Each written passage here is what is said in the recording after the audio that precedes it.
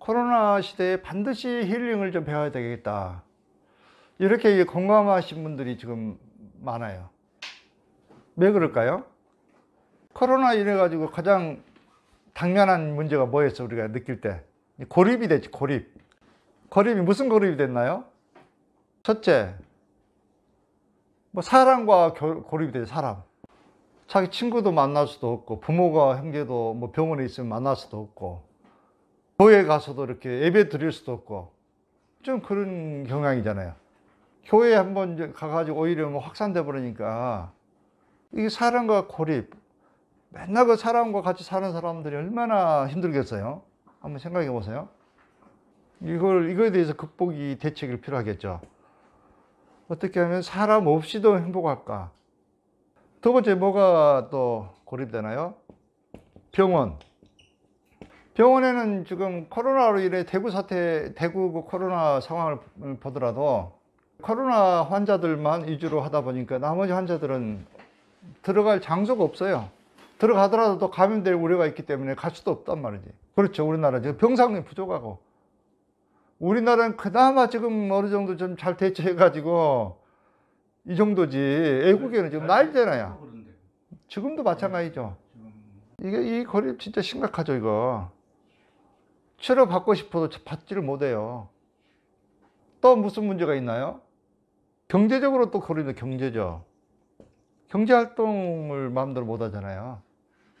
그래서 이 문제점들이 상당히 많은데 이 코로나 사태를 면밀히 분석을 해가지고 어, 대책위원회를 빨리 만들어야 된다고 봐요 나는.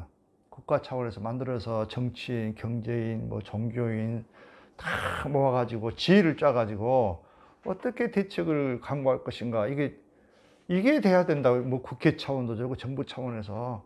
어, 이건 세계적인 차원이지 사실은. 근데 지금 그렇게 하는 경우를 못 봤어 나는. 참 답답해요. 얼마나 당해야 될까? 이게 대책을 안 세우면 계속 반복되는 거예요. 그게 그, 윤회거든, 윤회 사실은. 업장 때문에 그런 거예요. 이게 경제적으로 고립, 이거는 좀, 어, 경제적으로 많이 발전됐기 때문에 어, 굶어 죽지는 않을 정도가 됐, 됐잖아. 그래서 국가에서 지원받을 수 있어. 어느 정도는. 그것도 지속적으로 되면 안 되겠지만, 먹고 살 정도는 우리 고립되더라도 뭐, 되, 되고, 특히 그 수행자들은 복귀 벽곡을 앞서는 설명했죠. 그걸 터득을 한다면, 얼마든지 극복할 수 있는 거예요, 사실은. 앞전에 공부하셨죠? 먹지 않고 살아가는 방법 잊어버렸나요? 50년 이상을 지금 먹지 않고 살 수 있다고 그랬잖아요. 원리를 대해서 설명했잖아. 그거 잊어버리면 안 되는데, 그걸 좀 해야 되는데. 증거까지 보여줬잖아. 책도 보여주고. 근데도 안 믿으면 어떻게 해? 음, 여러분도 그런 상황에 닥칠 수 있어요. 뭐 섬에 그냥 고립된다든가 배 타고 가다가 그냥 아무도 없는 섬에 고립되면은 어? 아무것도 먹을 거 없으면 어떻게 해야 돼? 살아야 되잖아. 옛날 같은 삼풍백화점 같은 사고가 나버리면 어때? 지하에 갇혀버리면 어, 살아야 되잖아요. 동굴 속에 갇힐 수도 있고 반드시 해놔야 되는 거예요. 근데 병원으로 거지 이게 이게 문제지 이게 마음에 지, 지병에 문제가 있는 것들 당뇨, 고혈압, 뭐 중풍, 뭐 각종 뭐 정신 문제 뭐 코로나뿐만 아니라 이걸 제 돈을 못 받잖아. 이거 어떻게 해야 되고 병원도 이제 막 그 감염되고 그러면 문 닫아야 되고 또 병원도 한계가 있고 또 의사도 한계가 있고 그렇잖아. 그런데 여러분들이 진짜 치유사고 수행자라고 입장을 딱 바꿔놓고 생각해 봐. 이 조건이 우리가 어려운 조건입니까? 수행자 입장에서 한번 생각해 봐. 여러분들 일반 중생 입장에서 생각하면 엄청나게 어려울 거예요. 도저히 참을 수 없어요. 14일간 일, 외국에서 오면 격리되잖아. 그때만 해도 겨, 견딜 수 없어갖고 뭐 힘들다고 하는데, 이거 얼마나 장기적으로 막 가면은 한 1년이 갈 수도 있고, 2년이 갈 수도 있고 하는데, 어, 우울증 막 다 걸리겠죠, 막. 대혼란이 생기겠죠. 근데 수행자 입장에서 한번 생각해 보면, 여러분들이 치유 힐링을 쫙 배웠고, 어? 이런 과정을 통해서 다 배웠고, 어느 정도 수행이 딱 된 사람 같으면은, 아주 수행이 좋은 여건이 될 수도 있는 거야. 번뇌는 곧 보리단 말이 이 환경이 곧 수행터가 돼버리는 거예요. 여러분 텐진 파머라는 여성 들어본 적 있나요?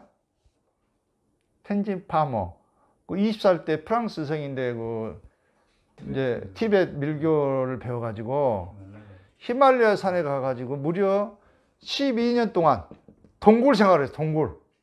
동굴에서 이, 이만한, 이거 한 두 배 정도 되는 평상 하나 짜가지고 그 위에 앉아서 동굴에서. 무려 12년간을 아무도 없는 히- 히말라야 산 중에서.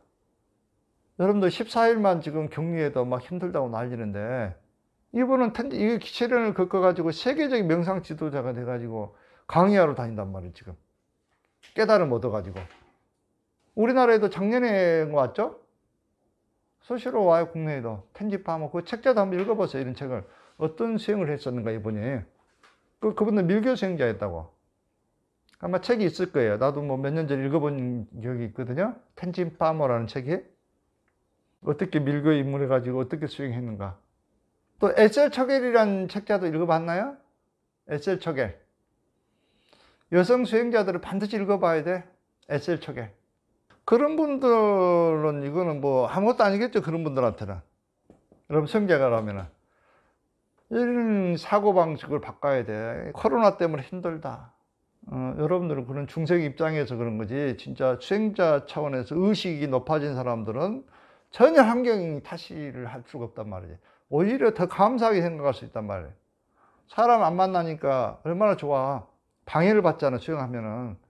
뭐 좀 하려고 하면은 사람들 와가지고 자꾸 방해하는데 얼마나 좋아. 고립돼 가지고 참 에너지를 뭐 단전에 모으고 소주든 대주든 빗줄을 통해서 중매도 다 개통하고 깨달으면 더 가까워지겠지. 시간이 많으니까. 위기를 호기로 삼을 수 있잖아. 여러분들은 지금 경락망 제대로 착 이렇게 알고 떨어져도 모든 병이 자연치유가 되도록 돼 있는데 이걸 몰라가지고 사람들이 죽잖아. 고통스러워하고. 경락, 경맥만 제대로 알고 떨어져도 이 자연치력이 엄청나게 증진돼가지고 이런 병들은 아무것도 아니라고 그랬잖아. 뭐 기와 혈만 탁통하면 다 자연치유되는 문제라 했잖아. 이거. 있다가 이렇게 소개를 해줘도 여러분들이 안 믿어요. 도대체 병원에서도 안 되는데 어떻게 됩니까? 그럼 왜 대체약이 있나요? 대체약이 없어야지 병원에서 다 해결하면 왜 그 독일이나 미국 같은 데서는 대, 대체약이 인기가 있, 있을까요? 그걸 생각해 보지 않았어요? 필요하기 때문에 있고 도움이 되기 때문에 있는 거잖아. 그러면 여러분들 경명학을 받아들이고 자연치력을 믿고 공부를 좀 해야 되는데 뭐 여러분들 세포만 알고 기와 에너지만 잘 알면은 크게 문제가 안 되는 거예요. 크게.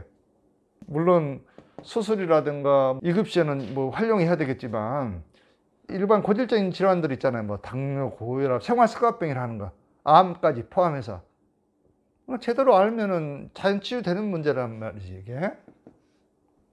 그래서 코로나 시대에 에, 이게 이제 어, 뭐 끝나겠지만 코로나 지금 여러분들 예측을 많이 하는데 반드시 이제 어려움이 있게 되면은 음양이 있듯이 반드시 극복은 되거든요. 그렇잖아요. 옛날에 저 스페인 독감 18세기나요? 무려 5천만 명이 죽었어요. 5천만 명 이상이.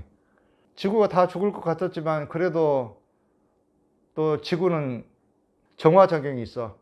어느 정도 흔들어 놓은 다음에 또 정화 시키는 작용이 있기 때문에 반드시 없어지게 돼 있어.